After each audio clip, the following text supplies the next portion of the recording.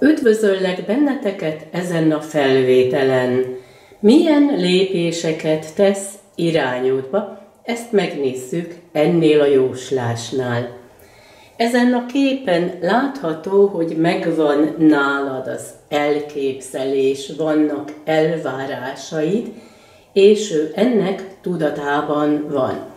Azt is jelentheti itt ez a kártya, hogy ez az ő tartása. Nála is megvannak az elvárások. Itt látható egy gazdag lány, ez utal rád. Ez lehet az, hogy lesz nálad nyeremény, vagy egy jó munkahelyi légkör, valami javul az anyagi helyzeteden, a munkádnál, a hivatásodnál, de ez a gazdagság utalhat a belső értékekre is, hogy te értékes vagy számára. Itt látható a szerencse.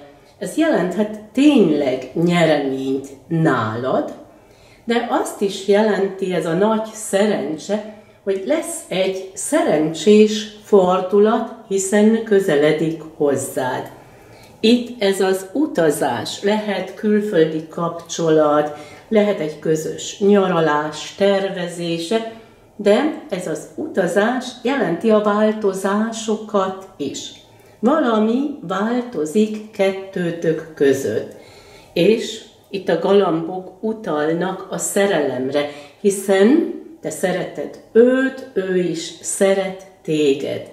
Itt van előttetek ez a hosszú-hosszú út, egy közös jövőnek a tervezése.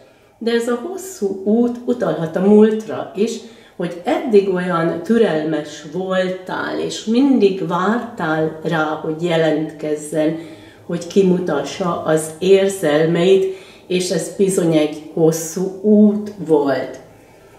Itt látható egy jóságos föld, ez jelentheti a te természetedet, hogy nagyon aranyos vagy, jóságos, és ő ezt tudja, ezt értékeli is, de lehet egy más hölgy, egy idősebb hölgy, mint például az anyukája, aki jó indulattal közeledik hozzátok, segít nektek.